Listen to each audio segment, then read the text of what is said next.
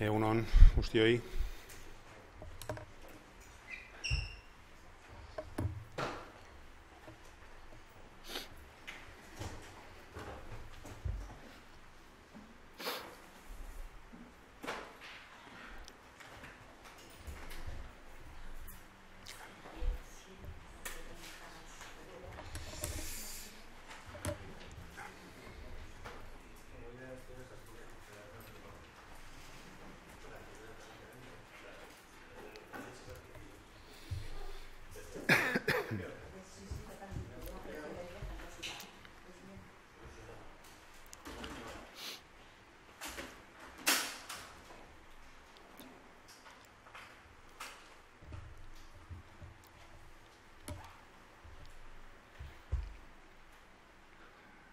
¿Listos? Bueno, vamos a empezar. Me vais a permitir que hoy lo haga, al contrario de otros días, con una, cita del gran Shakespeare. ¿eh? Hay un personaje en Hamlet que dice en un momento determinado una frase muy, muy conocida, que es que algo huele a podrido en, en Dinamarca. Azken egunotan, e, ustelkeria ari gara hitz egiten Euskadin. Ostegunean, politika orokorreko osoko bilkura izango da, eta nabaria da airean dagoen, dagoena. Ustelkeria usaina. Adibide bat, Marguello, Marguelloaren sententzia, pasaren astean ezagutu genuena. Oso kezkagarria iruditzen zaigu gutxieneko zigorra. Frogatu denean, diru publikoaren erabilera, ilegala, guztion kalterako. Ustelkeria bada ere, administrazioko arduradunek diru publikoaren erabilera okerra, impunitate osoz. Kasu honetan gainera sententzian irakurre alden bezala. Oso kaltegarria da Euskadirentzan. Zentzu honetan erkoreka jaunaren agerraldia eskatuko dugu legebiltzarrean, Eusko legebiltzarrean. Azaldu behar du, erkoreka jaunak zergatik erretiratu zen Eusko jaurlaritza epaiketatik eta zergatik ez zuen akusaziorik egin. Horrela defendatzen dute Eusko jaurlaritza edo Eusko jaurlaritzan dauden bi alderdik PNV eta PSek guztion zerbitzu publikoak eta baliabideak, hau da beren ausolana, Decía que se acerca el pleno de política general que tendrá lugar este, jueves, este jueves y algo empieza a oler muy mal en Euskadi. Un hedor al que algunos hacen, hacen frente tapándose la nariz como si pudieran tapar las narices de todos y de todas. Este hedor es el del clientelismo y el de la corrupción, que ha tenido estos, estos últimos días momentos especialmente nauseabundos. Tenemos, por un lado, la sentencia del caso Margüello que hemos conocido. Nos parece inaceptable que este tipo de clientelismo salga gratis en 2018. El clientelismo y la corrupción, hay que decirlo con claridad, son muy perjudiciales para Euskadi. Es por ello que desde el Carrequín Podemos vamos a tomar medidas e iniciativas. Una de ellas, la más urgente, es que el señor Ercoreca comparezca urgentemente en el Parlamento Vasco para explicar por qué el Gobierno vasco decidió eh, retirarse en el juicio contra un director de la sanidad pública vasca que se ha demostrado que fue corrupto.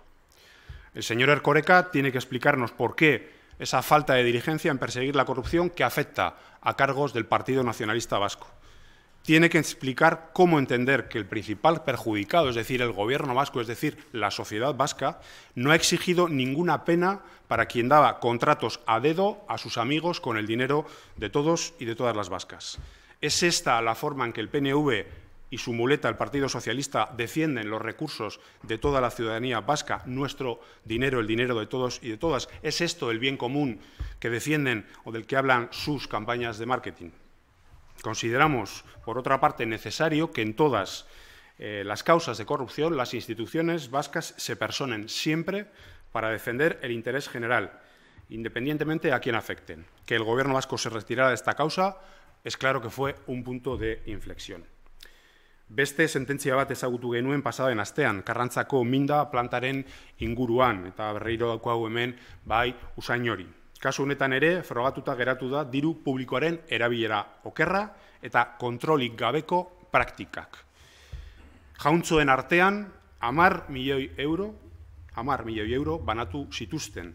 Eta ez dugu EAJaren erreakzioaren bat entzun. Eta esan behar da, klientelismoa ere ustelkeria dala. Berriro ere, usain nazkagarria. También decía que hemos conocido la semana pasada la sentencia de otro caso que afecta a exaltos cargos del PNV, el caso de los purines de Carranza. Un reparto entre amigotes de dinero público que ha costado ni más ni menos que 10 millones de euros a las arcas públicas, es decir, que nos ha costado a todos y a todas. Tampoco en este caso hemos visto ninguna reacción por parte del PNV. Se ve que son capaces de aguantar bien un hedor que nos va llegando a todas digámoslo con claridad, las redes eh, clientelares vinculadas al PNV, como el caso de Miguel, el caso Margüello o los purines de Carranza, están haciendo un grave daño a Euskadi. ¿Cómo pude decir el Endacari Urcuyu que estamos ante casos aislados cuando hace unos días se dictó la sentencia del caso Margüello, cuando hace poco se condenó al alcalde de Carranza y a un alto cargo del gobierno vasco, como decía, a cuenta del pozo sin fondo en que se convirtió esta planta de purines? Cuando las condenas judiciales de alcaldes y concejales por diversas formas de corrupción se suceden en Euskadi y solo el verano pasado se sentaron en el banquillo quienes fueron alcaldes o concejales de Baquio, Musquis, Siervana, Erandio o Alonsote.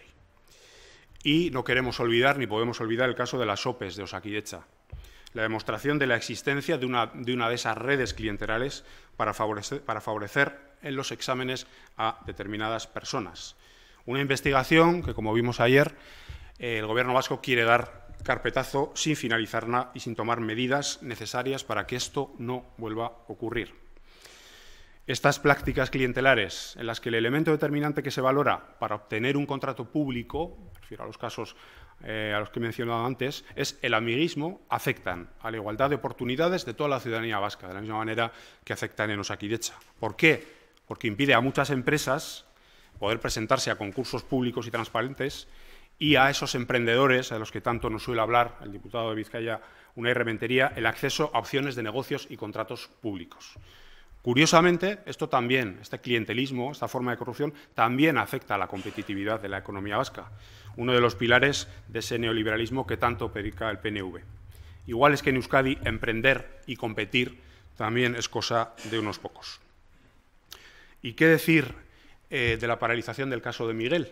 Ayer esperábamos la declaración del principal de los acusados y nos enteramos que la Fiscalía eh, pedía una suspensión temporal del juicio porque buscaba un acuerdo que satisfaga a todas las partes.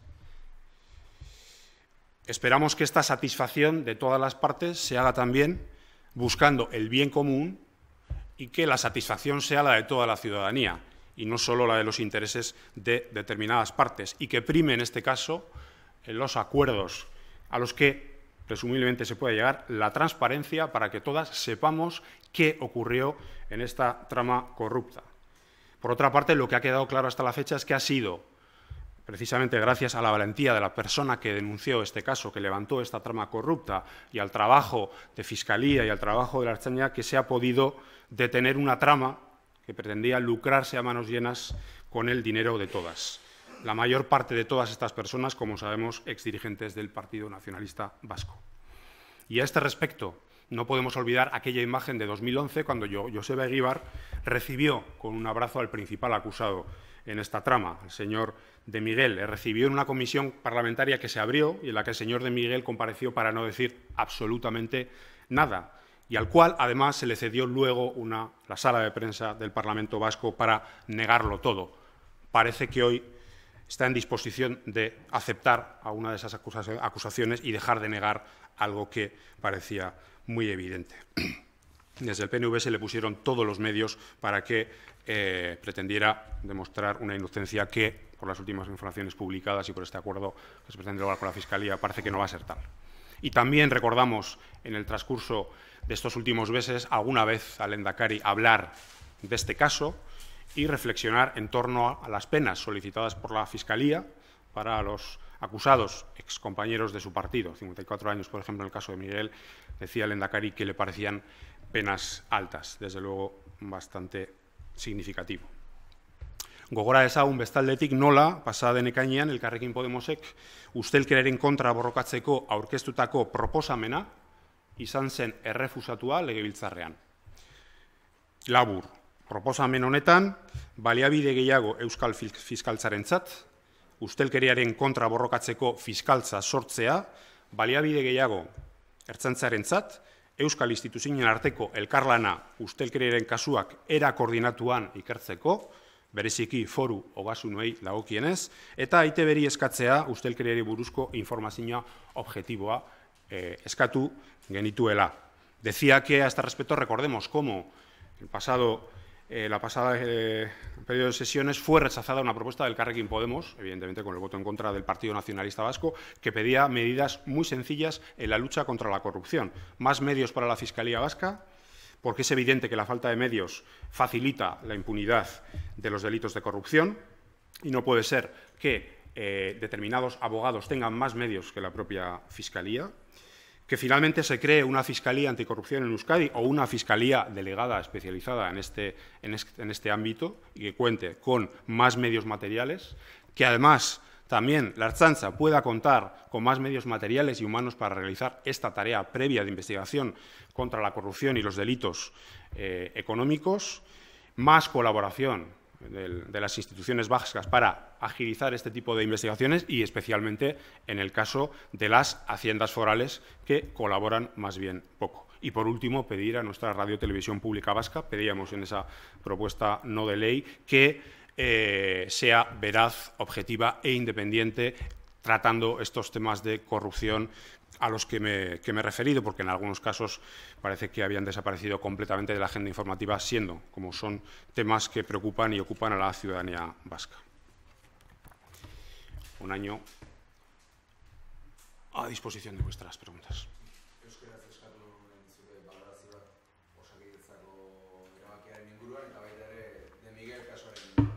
Bai, E, osakiretzaren inguruan, ba, atzo gure legebiltzarkidea, Kristina Makazag esan zuen, emandako azalpenak, hau da, ikerketaren emaitzak, ba, giuretzak ez dira, ez dira nahikoak, ez dira argiak, bai, osakiretzak e, ez du esan zer gertatu den, bai, eta antza denez, zaiatzen ari da, bueno, pues, gaur daño gertatutakoa estaltzen. Bai? Guk jarraituko dugu eskatzen azalpenak, uste dugulako, kasu, kasu hau oso larria da, eta uste dugulako bai, berdintasun aukerak bai, guztientzat bermatu egin behar direla beti.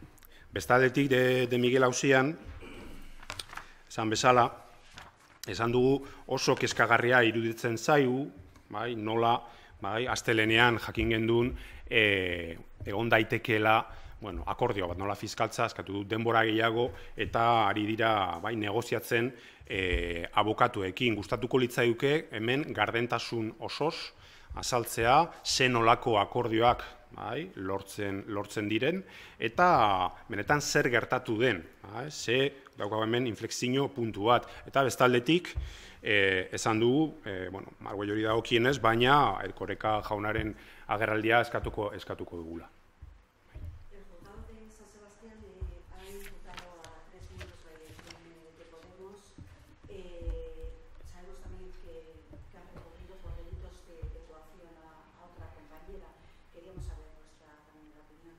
Sí, eh, bueno, este asunto se va a tratar en la ejecutiva del partido, nuestro Consejo de Coordinación, que tendrá lugar eh, mañana. Estamos eh, reuniendo la información al respecto de este, de este caso y os daremos cumplida cuenta de las decisiones que tome ese Consejo de Coordinación, que es el órgano competente para tomarlas.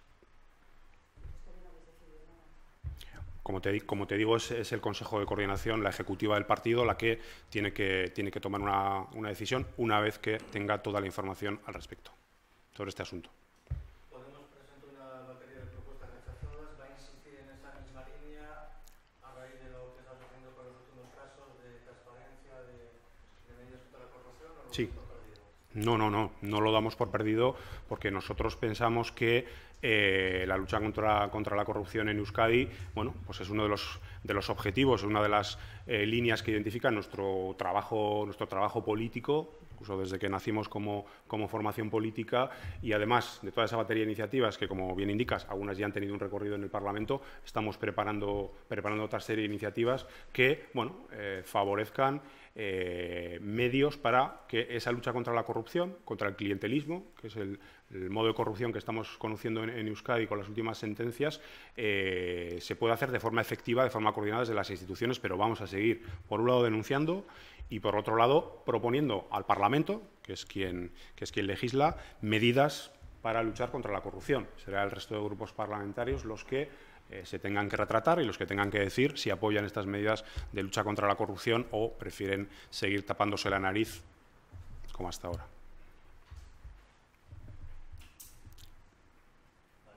Besterik, ondo. Y.